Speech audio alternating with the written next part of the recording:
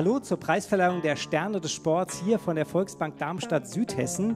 Neben mir sitzt Gabi Schön und sie ist von der Sport- und Kulturvereinigung in Mörfelden, kurz SKV. Gabi, was macht dein Verein? Ja, wir sind mit 4500 Mitgliedern ein sehr großer Verein hier in Südhessen. Wir bieten 19 verschiedene Sportarten, vier Kulturabteilungen, ein Fitnessstudio, eine Sportschule für Kinder.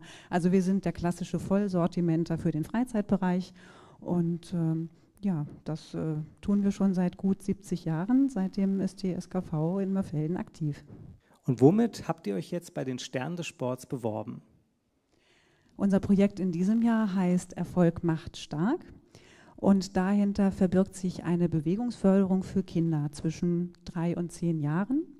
Also in dieser äh, Übungsstunde sind nur Kinder mit motorischen Defiziten. Das kann eine Behinderung sein, das kann eine körperliche Verletzung sein, eine seelische Verletzung sein. Das sind einfach Kinder, die in einem normalen Kinderturnen untergehen würden. Und für diese Kinder haben wir schon vor fünf Jahren einfach einen Raum geschaffen, um sich ganz individuell zu entwickeln. Und wir haben eben auch das Glück, dass wir mit der Corinna Geis eine Übungsleiterin haben, die äh, eine Psychomotorik-Ausbildung gemacht hat und die mit unendlicher Geduld erstmal das Vertrauen dieser Kinder gewinnt, um sie dann an den Sport heranzuführen. Denn das ist ja das Ziel, dass die Kinder Spaß haben an der Bewegung und nicht schon in so einem kleinen Alter sagen, nee, Sport, das ist nichts für mich. Ein großer Verein mit einem großen Herz und auch Verstand. SKV Mefelden, Dankeschön, Gabi. Gerne.